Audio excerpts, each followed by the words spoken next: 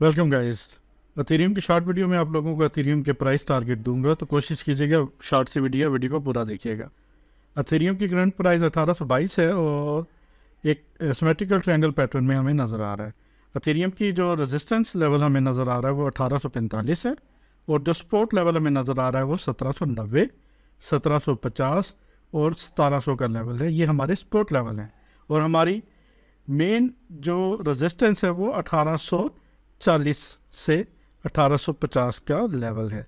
अगर अथीरियम ने इसको ब्रेक कर दिया अप साइड पे तो टारगेट होगा 1950 2000 डॉलर ये दो टारगेट होंगे। अगर डाउन साइड पे ब्रेक होता है, ये पैटर्न मोस्टली क्योंकि इसका ट्रेंड बेरिश है तो चांसेस हैं कि प्राइस डाउन होगी और ये ब्रेकआउट ब्रेक डाउन होगा। ठीक है, अगर ब्रेक डाउन होता है तो हमारा पहला टारगेट सत्रह पचास है, दूसरा टारगेट हमारा 1700 डॉलर है।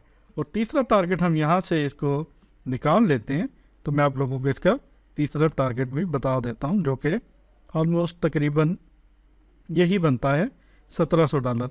इसका इसका पैटर्न इस पैटर्न का यही टारगेट बनता है, ठीक है?